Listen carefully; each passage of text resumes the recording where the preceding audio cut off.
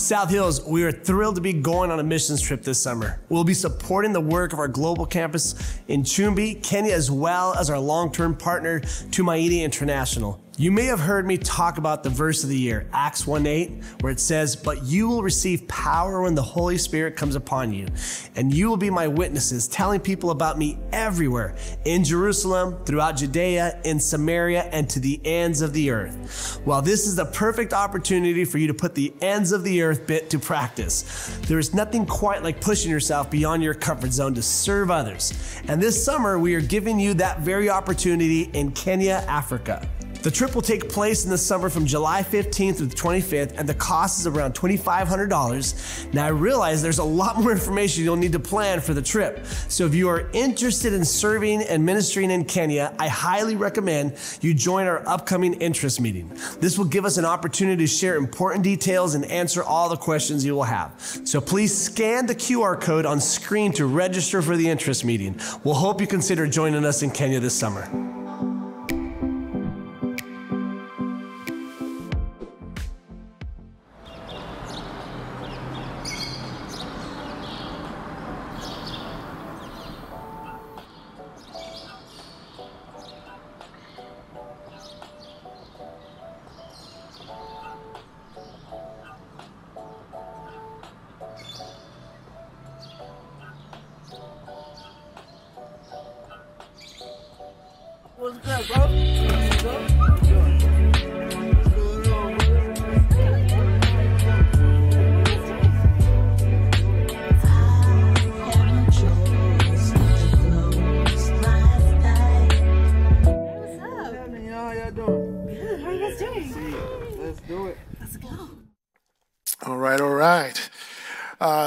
Visiting us for the first time and you do not know who the chubby guy on the platform is, that is me.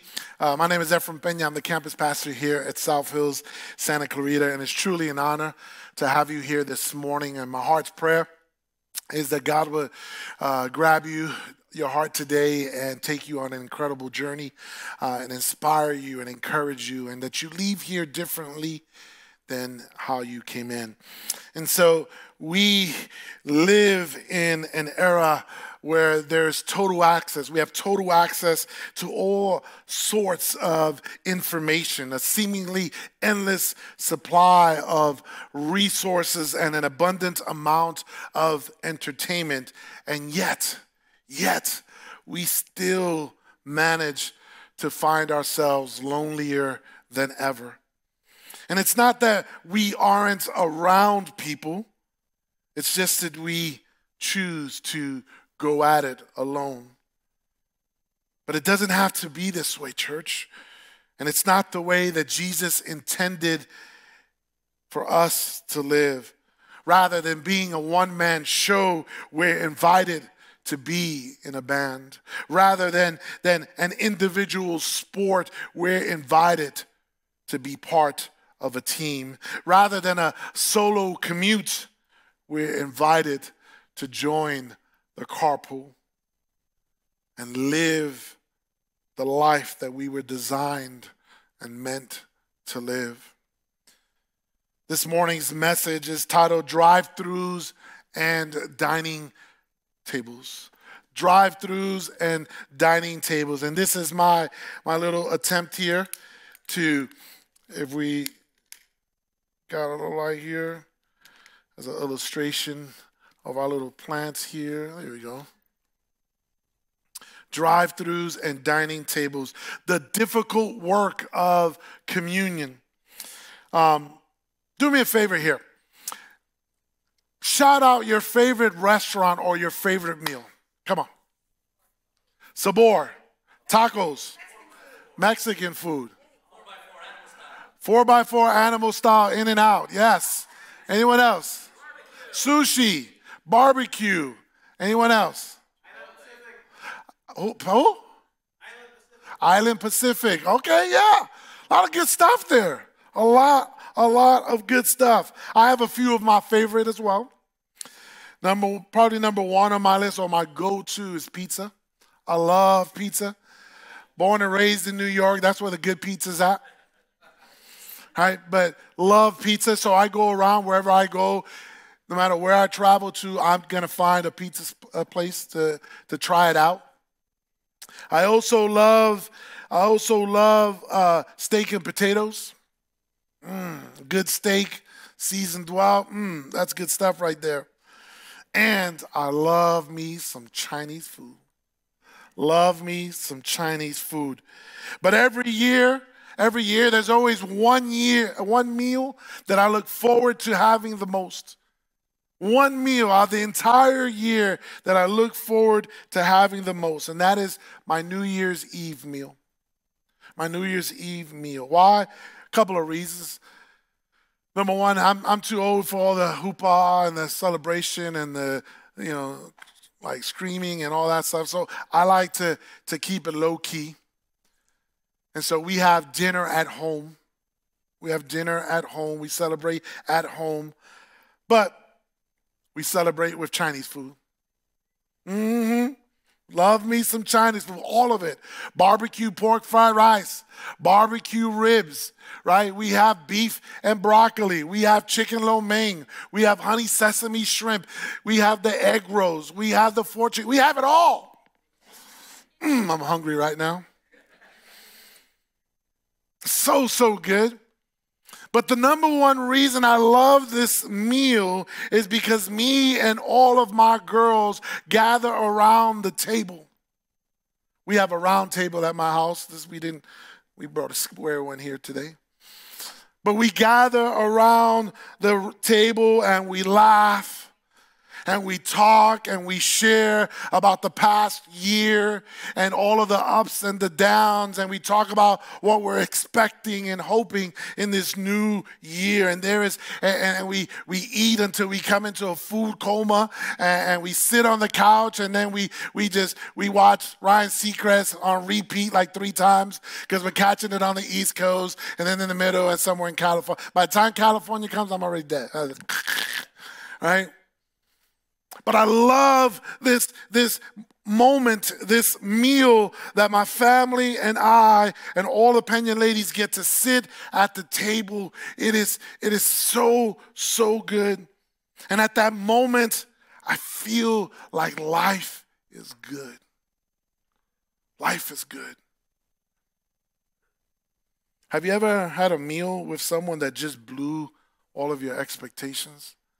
You went out and and, and, and had a meal with someone and and everything about it was incredible. And I'm not necessarily talking about just the food, right? Because food is always good, right? But I'm talking about the conversation, the company, right? It's good to hang out and do life with one another. Maybe you showed up for your reservation and, and wound up staying past the restaurant closed. Maybe you, uh, um, you, you didn't know someone well. And in that conversation, in that company, you were able, by the time you left, you were like, man, I would like to do life with this person. I, I, I like this person. Anthony um, Bourdain, right? He's a, uh, he, passed away, but he was a, a chef and an author and a, curated a lot of shows, but he, he put it best, I think, when he said, The perfect meal or the best meals occur in a context that frequently has very little to do with the food itself. I love that because it focuses on the people. Friends, a lot of incredible things can happen, can take place at a dinner table. And I think that's why Jesus spent so much time at them. Maybe the most famous one is often referred to as the Lord's table or the Last Supper. You know, the one where all of Jesus' friends got behind the table and said, cheese, right? For the painting. I always found that hilarious, right? They'd be like, really? Someone's gonna take our pen? Let's all, right? Line up, line up, get there, right? And if you, are if my wife is the one doing the painting, be like, all the pe- small people to the front, all the big people to the back, but they all run around the table. I find that so uncomfortable when you go to a restaurant and I see two people on the same side of the table. I don't know why. Just so weird, Like sit across from each other. Like. Anyway, that's just me. But Luke chapter 22 tells us the story.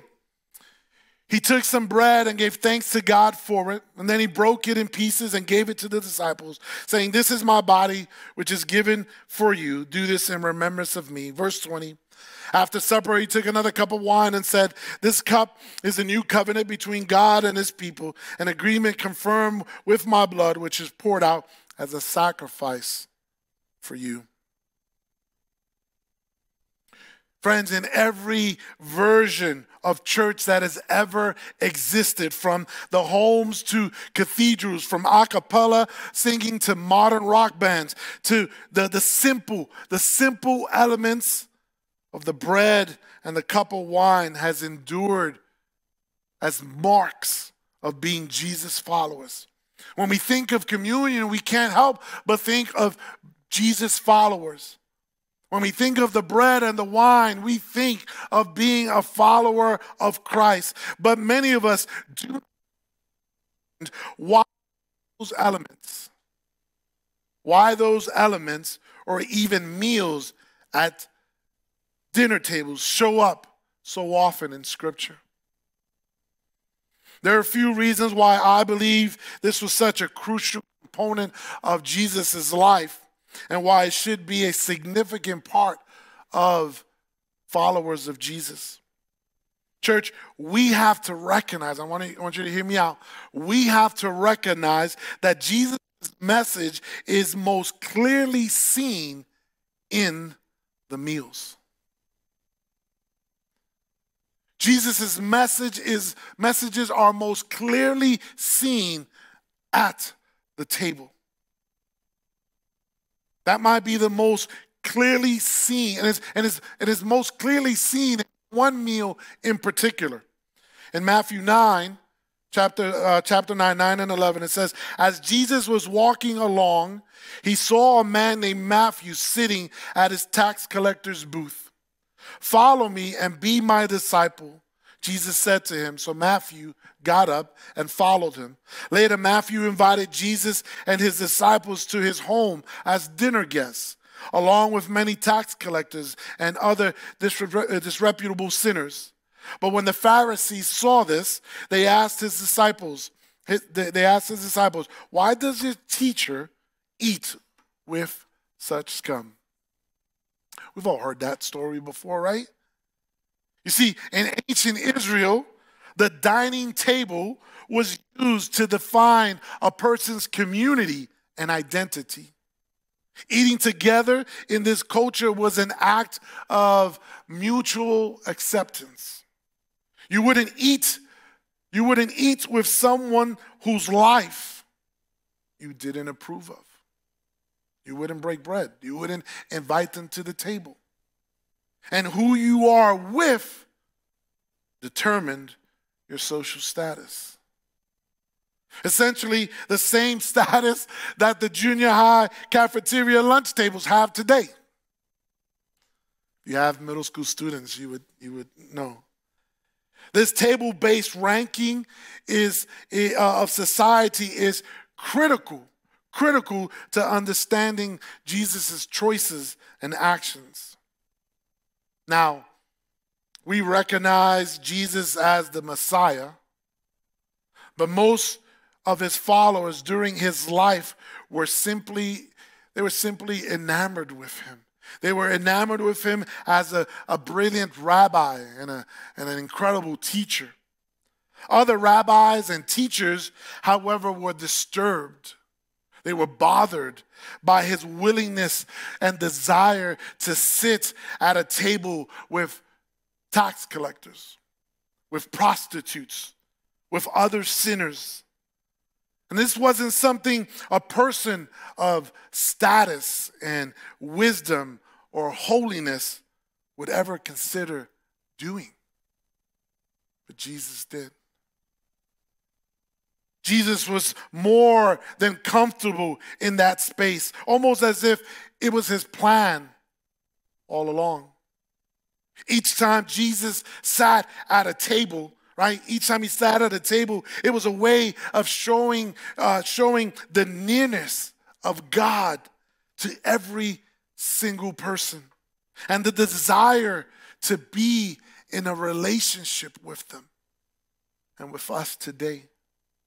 It reminds me of the message uh, uh, paraphrase of John 1 14, where it says, The word became flesh and blood and moved into the neighborhood. Love that. The word became flesh and blood and moved into the neighborhood. Could God have shouted his message? Yeah. Could have got a bullhorn and shouted it. Hey, Jesus loves you. I love you. He could have done that. Could, have he, could he, he have hired a, a skywriter? Yeah, of course he could have. Write his message up there all nice and white. Could he have communicated how much he loves us and his purpose and his plan for us? I believe so. Absolutely. He could have. But what did he choose to do? What did he choose to do? He chose to come close. He chose to be amongst us. He chose to move into the neighborhood and sit at our table as if to say, I'm here for you. I'm here with you. And I want you to know, I want you to know that more than anything else, I am here with you. Friends, everything that separates us from God is removed, and the dinner table represents that. It shows his eagerness to welcome everyone to his table, even those farthest from God. So the Pharisees said they were upset with Jesus. They were upset with Jesus who, who, who, who shared his meals with these kind of people.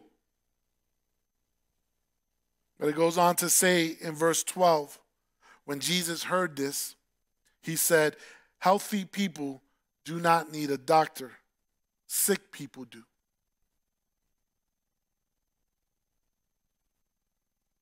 The Pharisees, the Pharisees saw a rabbi defiling himself among sinners. But Jesus wanted them to see a doctor healing the sick. By simply sharing a dinner table, Jesus was bringing healing. Bringing healing. Friends, when we are loved and when we are accepted for who we really are and welcomed into the life of another person without conditions, it brings healing to our souls. It does something incredible for us.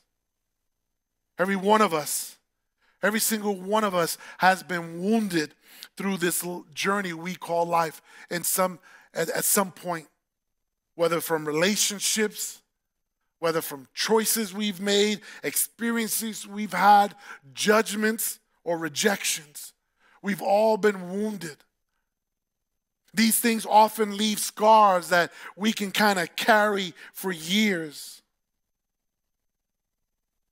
But as we break bread and pour the cup at the Lord's table, we are reminded of Jesus' wounds and discover that our wounds are welcomed at the table as well.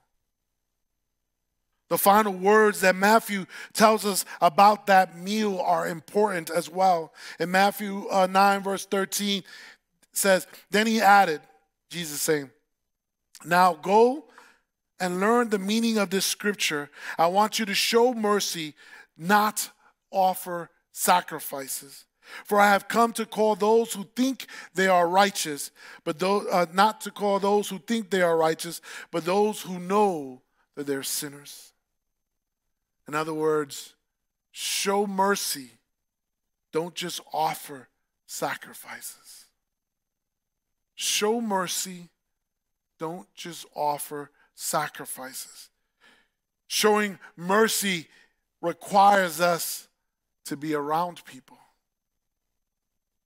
Showing mercy requires us to be around people. Offering sacrifices does not.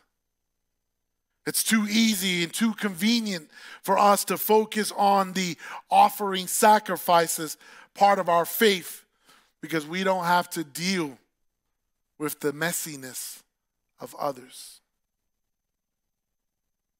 But Jesus is putting a priority. He's putting an emphasis, he's putting a spotlight on how we interact with others, how we welcome others, how we serve others, how we love others, how we encourage others, and how we build others up. It's as if he's saying, don't get too confused. Don't get too caught up on your own holiness that you think you can disconnect from others. One author put it this way says the table is not ours. The table is not ours, it is the Lord's and the community he is building looks nothing like the one we would choose. I love that. Because we can get caught up in this, in this table that it has to look a certain way, that only the invited few that fit the mold can sit at the table.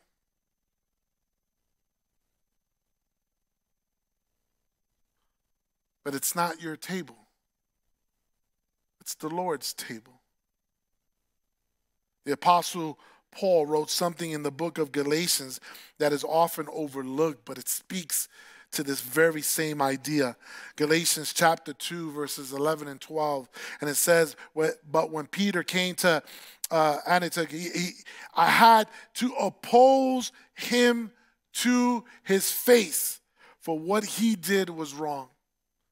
When he first arrived, he, he ate, right, with the believers who were not circumcised, right, the Gentile believers who were not circumcised. But afterward, when some friends of James came, Peter wouldn't eat with the Gentiles anymore. He was afraid of criticism from these people who insisted on the necessity of circumcision.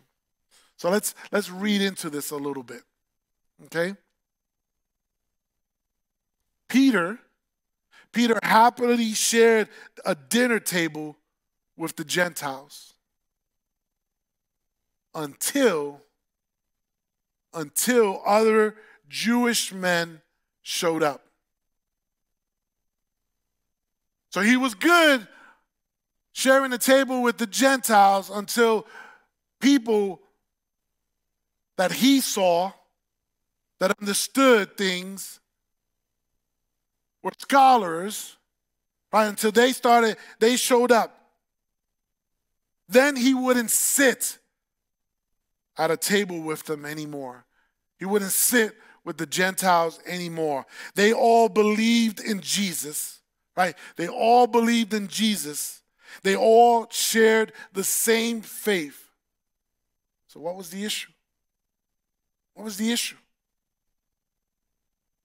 Friends, Peter just like us, wanted to be comfortable. He wanted to be comfortable. And like us, Peter wanted a comfortable church filled with the people he preferred, filled with the people that he liked. He wanted the communion table to be occupied by people who shared his identity and his views. In other words, he wanted to offer sacrifices without having to show mercy.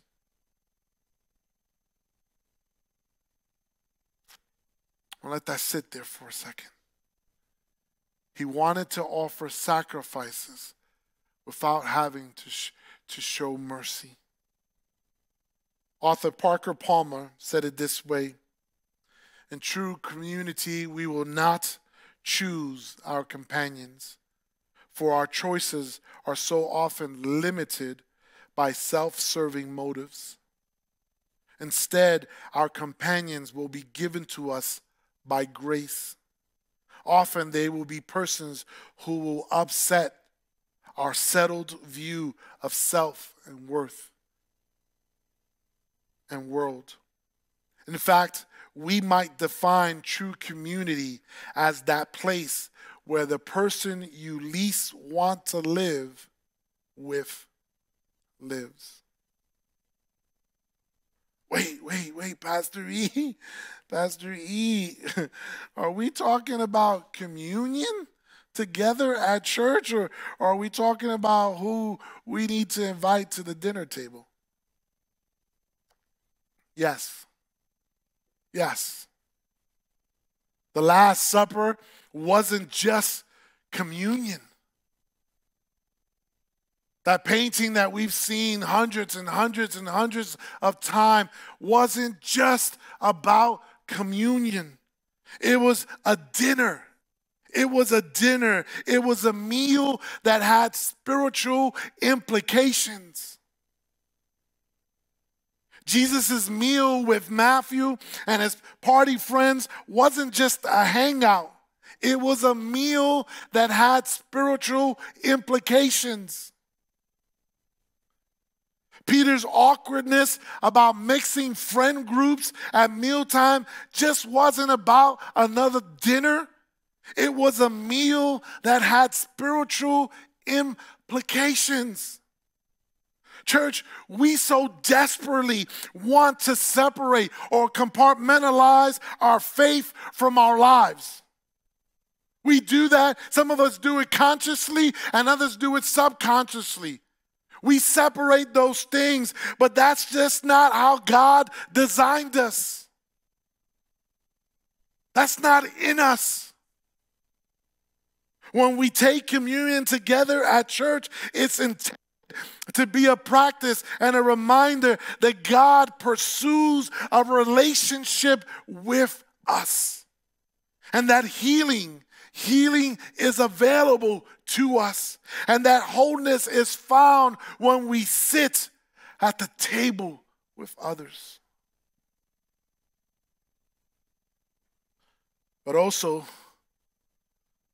some of you rarely, if ever, invite anyone to your dinner table at home. Mm-hmm. You're busy. You're busy. You're preoccupied. You have preferences.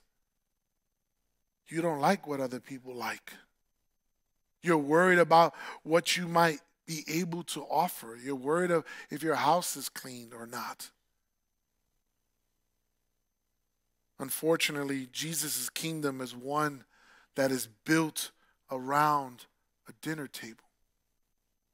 That's what his kingdom is built around the dinner table and you are missing out on crucial aspects of your faith and your relationship with God by your limited time, excuse me, by your limited table time with others.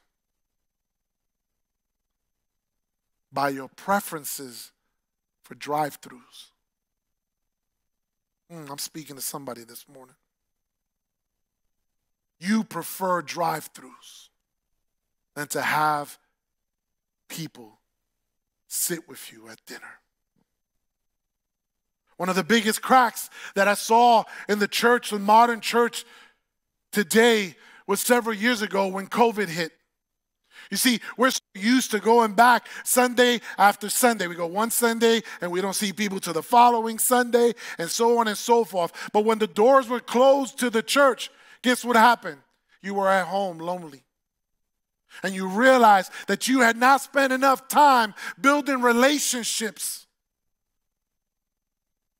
foundations with people in your church. You didn't do life with people in your church, so there was nobody table with you.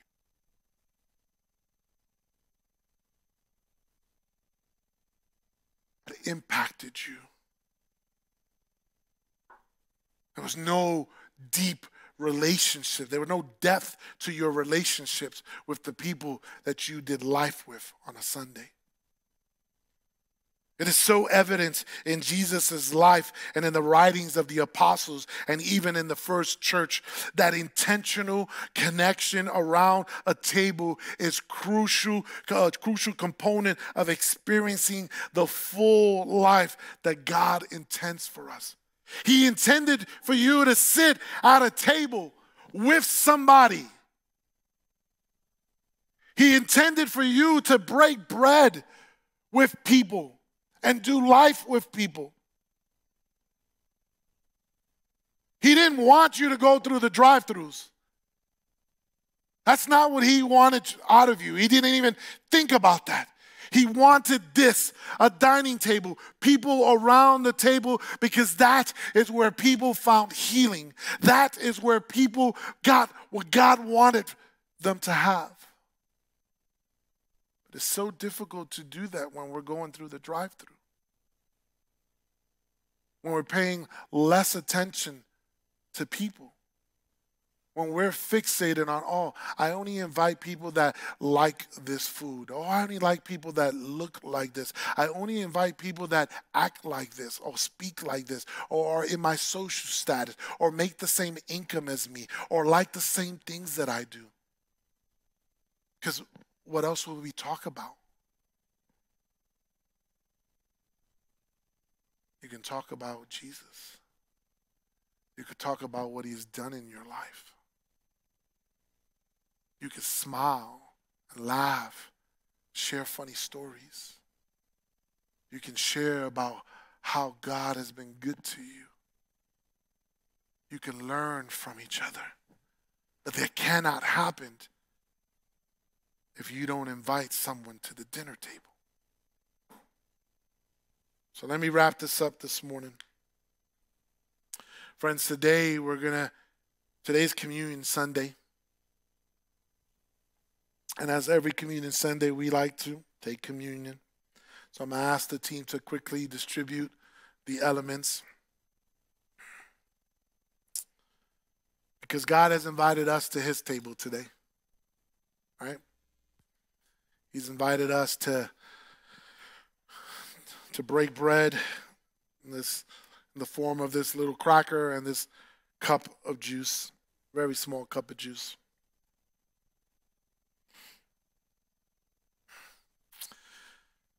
But before I, we take communion together, I want to give you your plan of action. Right at South Hills, we end every message with a plan of action, a next step, if you would, a practical step on how we can take what we've learned today and put it into play. I'm not too fond of places where you go and they give you something to think about and process it for weeks and weeks. I'd rather be a doer of the Word of God.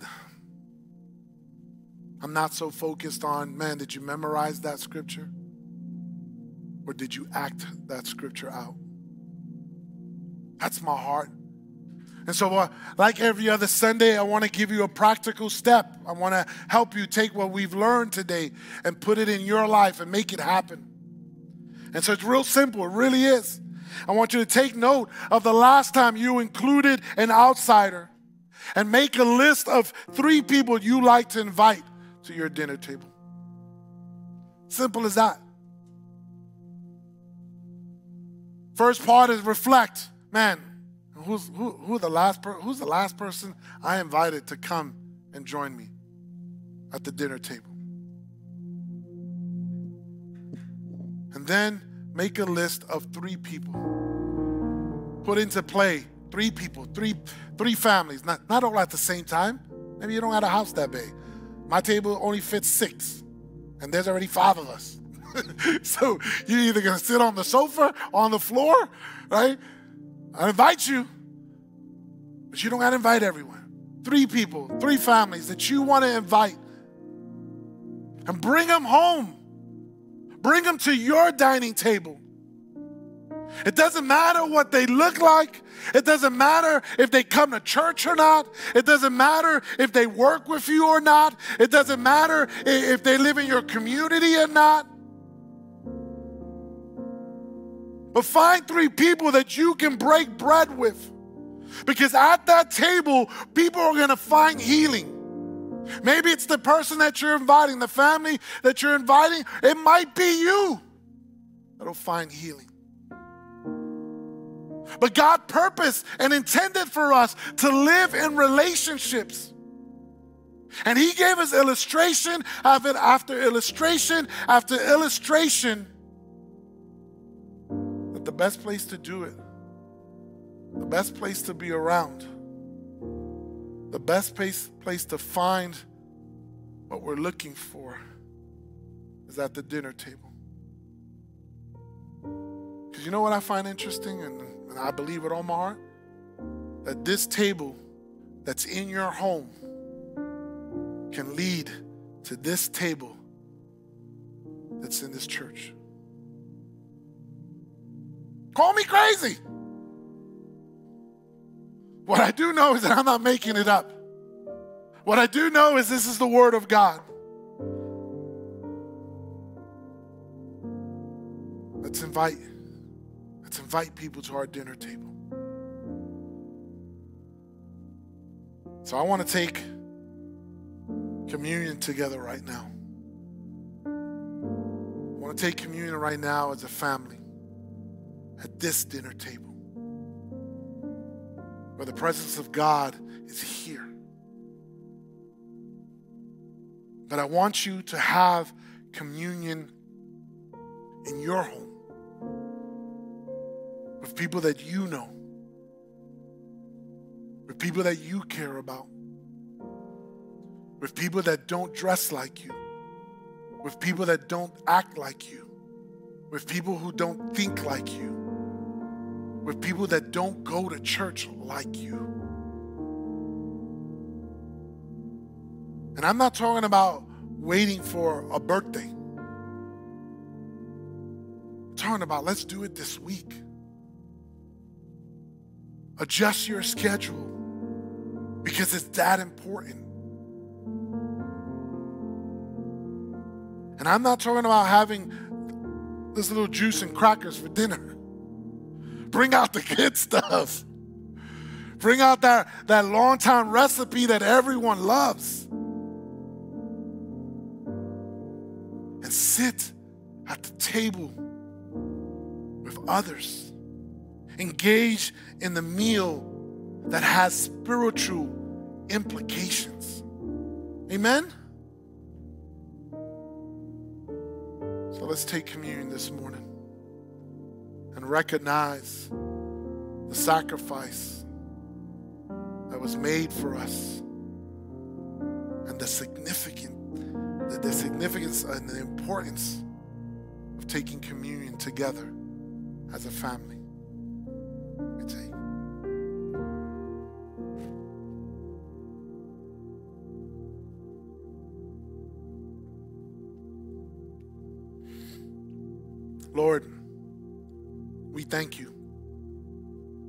This opportunity to take communion today as a family, to sit around your table that you invite us to. And Lord, may we take heed to this message today to invite others to our dinner table this week and the following week and the week after that. And that it would be something so common for us to share a meal with others. Because that's where we will find what we're searching for. Because that dinner, that meal, that sit down has spiritual implications. Lord, I pray that if there is anyone here today that finds themselves outside of a relationship with you, outside of the dinner table with you, Lord, if there's anyone here that is just struggling to believe,